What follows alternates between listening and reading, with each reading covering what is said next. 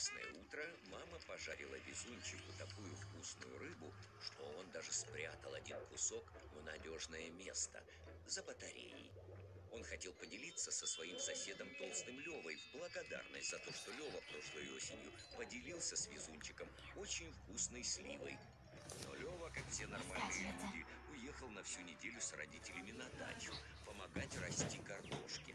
Поэтому Да. вечером везунчик достал рыбу Не скачивай. места и съел сам.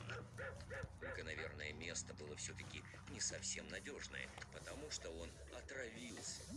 Сначала у него забулькал живот, потом заболел, а потом вообще начались такие угрызения желудка, что даже температура поднялась. Тут, конечно, сразу прибежали родители. Папа сказал, нужно срочно ехать к доктору Комаровскому, и гордо на всех посмотрел, как он хорошо придумал. Но мама сказала, что они и так все время к нему ездят, и что надо иметь совесть хотя бы в полвторого ночи.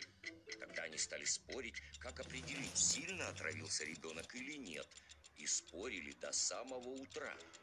Утром везунчику стало легче, и почти все прошло.